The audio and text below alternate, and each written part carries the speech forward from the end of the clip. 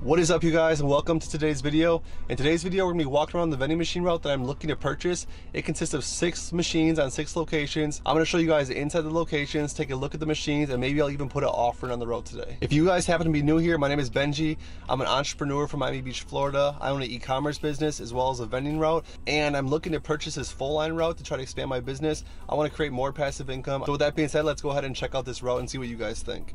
All right, you guys, so I'm back home now after a super long day on the route. Owner of the route took me to five out of six of the locations that I'm looking to purchase. They were actually really, really good locations. I am super impressed. These locations were overall super high foot traffic. I saw so many people actually buying stuff for the vending machine while we were there, while we were literally talking about the vending machines, standing off to the side, there was people spending money on these vending machines, which was absolutely crazy. These locations were super legit, and when it comes down to vending machines, honestly, if you have a good location, it's as good as gold. It really does not matter what kind of vending machine you have. If you do not have a location where there's a lot of people in and out, a lot of buyers, it doesn't really make a difference because you're not gonna make as much money. The five out of six locations that I did get to visit today with the owner of the route, they were all packed with people, so that's super good to see. Also to note, these locations were all in super nice areas, very nice drives to get to everywhere. And keep in mind, all these locations, well five out of six of them at least, were all very close to the area that I'm looking to move to in a little while, so it'd be very local. I could basically service the locations just by going right down my block, at least a few of them. With that being said, I wanna show you guys some of the locations.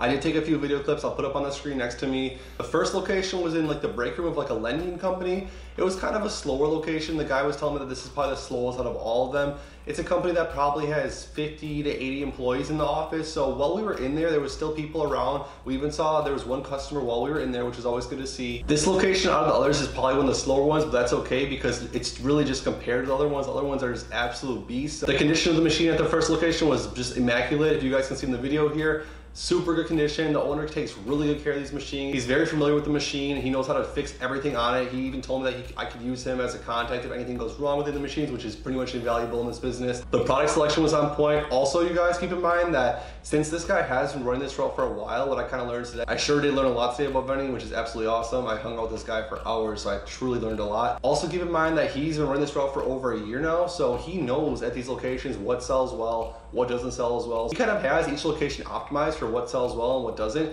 which is pretty cool. If I was just going and not knowing anything yet, I would have to kind of do the testing, which is what you have to do at a new location, of course. It's pretty cool that I'm kind of set up to begin with with the right products and each machine's kind of optimized for each location.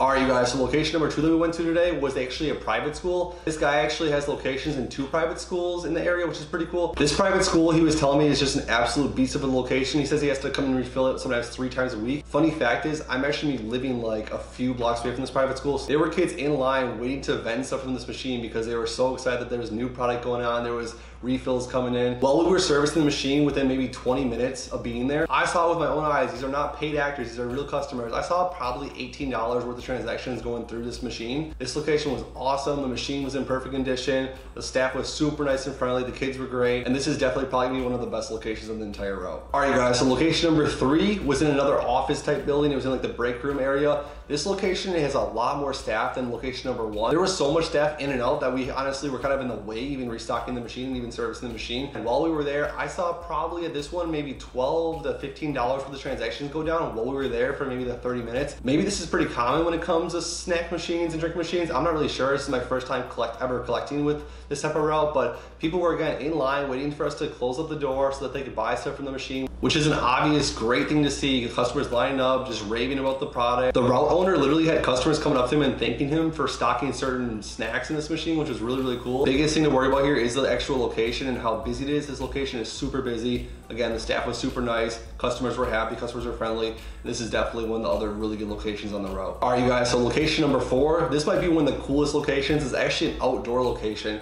It's outside of a swimming pool area if you guys seen the video here. This location is just packed with like, I think teenagers, like I think it's a high school or something, I'm not exactly sure. The machine is set in a really good area right next to where everyone hangs out. This machine when we arrived there was like literally almost empty and he just serviced it a few days ago. It was full of cash. There were literally people in line waiting to vend all the new products that we were restocking inside the machine. I feel like this one will also be a really, really good location. I'm super happy it's included in the row.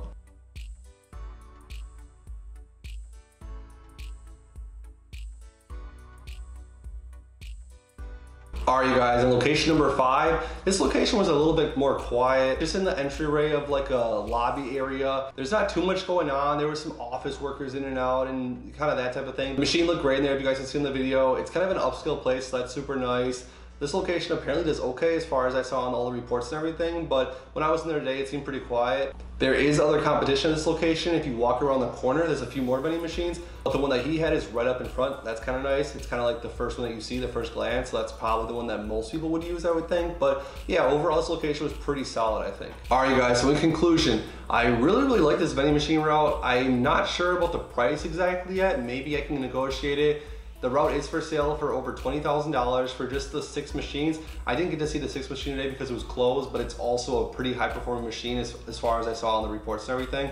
What's cool is I got to see all the reports on the software, which gets tracked through like the credit card readers and all that if you guys aren't familiar. So I saw the reports, this route's making really, really good money. The locations are absolutely crazy busy. I definitely want to ask you guys for any tips you guys have, what you guys think of this so far. Please leave comments down below but I really liked it honestly. Like I said, the machines were in great condition, the locations were super busy, and the staff and customers all seem super friendly. There's not too much traffic in this area, so that's also a plus. I really do think I want to put an offer in on this route. It was really fun going around to every location day besides the one, of course, learning about the machines. Like I said, I've never really dealt with snack or drink machines but the owner showed me exactly how everything works, which is pretty simple, honestly. These machines aren't as technical as I really thought going into this whole thing. What I think I'm gonna do is probably take a few days, go over the financials a little bit deeper. I did get to see all the financials in the software, which is pretty cool, so I have an idea of the breakdown of the gross profit and the net profit and everything, so that's definitely helpful as far as figuring this all out.